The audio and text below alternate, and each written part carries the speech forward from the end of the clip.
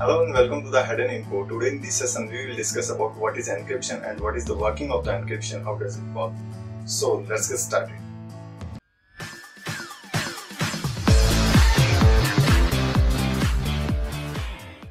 Encryption came from the word Kryptos.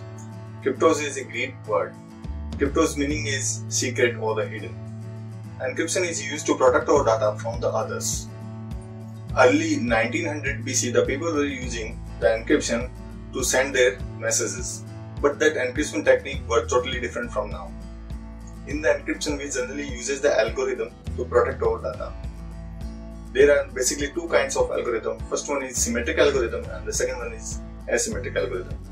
Now, what is encryption?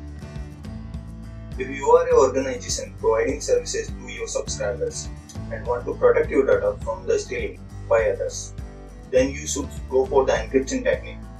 So encryption makes your organization unable to send the data in more secure way. There are different kind of encryption algorithms which are applied to the data to make it encrypted.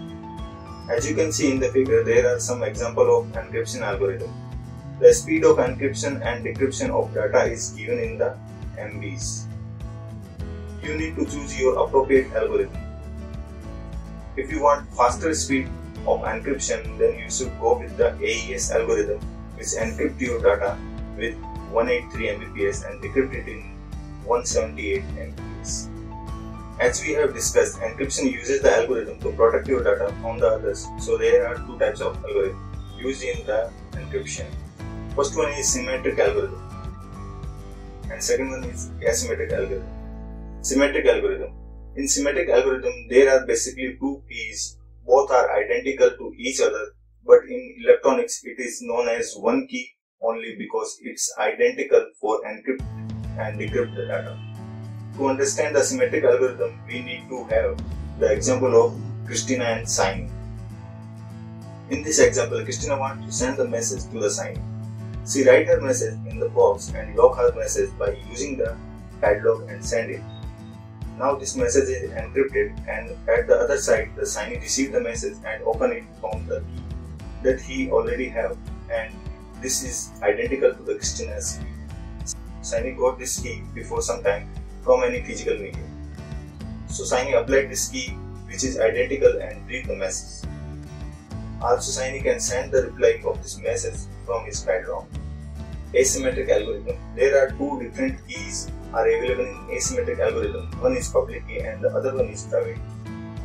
Again we are going to have the example of Christina and Signee to understand it more.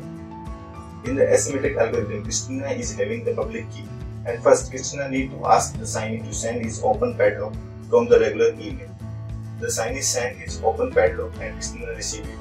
Then she type her secret message in it and then she lock it by using her public key.